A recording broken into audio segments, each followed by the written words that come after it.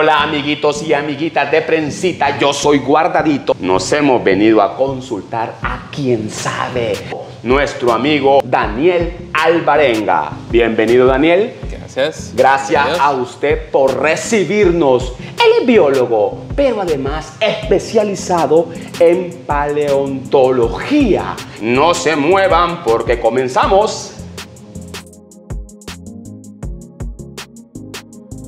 Muy bien, entonces, Daniel, a lo que nos trujo tencha, dicen ahí en mi pueblo.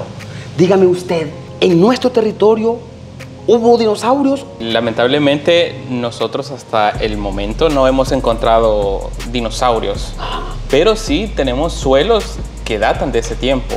Lo que tenemos son restos de organismos invertebrados. Hemos encontrado eh, erizos de mar, estrellas de mar, eh, caracoles, conchas, que son del periodo final de los dinosaurios. Estamos hablando del Cretácico, hace alrededor de unos 100 millones de años.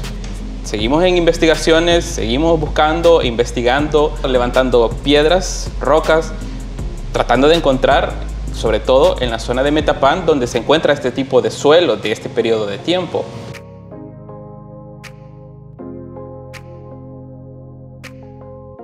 Usted como experto tiene conocimientos si en, algún lugar de Centroamérica han encontrado eh, restos de dinosaurios, por ejemplo.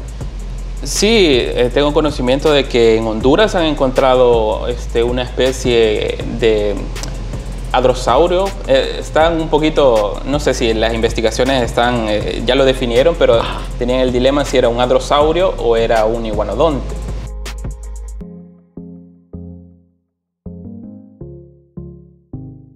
En América, si se han encontrado ya propiamente restos fósiles de dinosaurios. Sí, claro que sí. En todas las grandes masas de tierra de Norteamérica y de Suramérica este, tienen ahí guardados eh, como tesoro una gran cantidad de especies de dinosaurios en realidad. Por ejemplo, Norteamérica eh, tiene un, un, gran representante del Cretácico y es el Tyrannosaurus rex. Ajá. Es una, una, especie muy icónica en la cultura popular, claro. es muy conocida. Pero en América Latina también tenemos en Argentina, que es el lugar que tiene la mayor cantidad de, de restos encontrados de Diplodocus, del Argentinosaurus, son estos herbívoros gigantescos de cuellos enormes que quizás recordar para ilustrar un poquito son como los brontosaurios que comía Pedro Picapiedra. Ese, los que usaba de grúa también, sí, que, que, le agarraba las piedras y sí, eso. Sí, correcto. Uh -huh. Esos diplodocos son los, los, seres más grandes terrestres de los dinosaurios eh, que fueron encontrados en un país latino. Y en México tienen unos representantes muy, muy importantes de, de dinosaurios, por ejemplo, los pterosaurios como el Quetzalcoatlus, que es un dinosaurio volador, lo que también en, en, en este de los picapiedras los ponían como los pterodáctilos. Ajá. Ese, el Quetzalcoatlus es uh, el, el, reptil volador más grande eh, encontrado eh, en la historia. ¿Eso en México? En México, sí. Nuestro experto Daniel Alvarenga también nos contó que se han encontrado mega animales cuando yo digo tengo mega hambre, es porque tengo una gran hambre. Cuando yo digo tengo una mega ganas de ver a mi abuelita, es porque tengo una grande gana de ver a mi abuelita. Entonces, ¿qué se refiere, ¿a qué se refiere con mega animales y cuáles fueron los que han encontrado, Daniel? Sí, bueno, es la megafauna del Pleistoceno. El Pleistoceno estamos hablando de un periodo de tiempo atrás, de alrededor de 1.8 millones de años a 3 millones de años.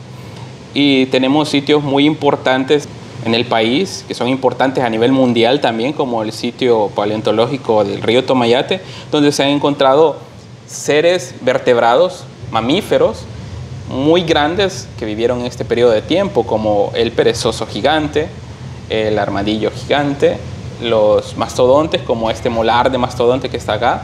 Tenemos evidencia de camellos, de tortugas eh, de ese periodo de tiempo, un oso, también tenemos evidencia de tigres dientes de sable, de mamut y todos estos animales que fueron de grandes proporciones y que pues en algún momento por los cambios climáticos fueron extintos. Estamos muy agradecidos con nuestro experto biólogo con especialización en paleontología, Daniel Alvarenga. Muchísimas gracias por recibirnos de verdad. ¿Algún mensaje que usted quiera darle a los lectores de Prensita? Eh, sí, sean curiosos, eh, háganse preguntas, eh, estudien y cuiden lo que está a su alrededor. Háganse preguntas. ¿Cómo llegó a ser tan grande este palote de mango? ¿Cómo eran los pollos? tenían pelos, tenían colmillos antes, ¿cómo eran? Háganse preguntas. Ya nos vamos. Adiós.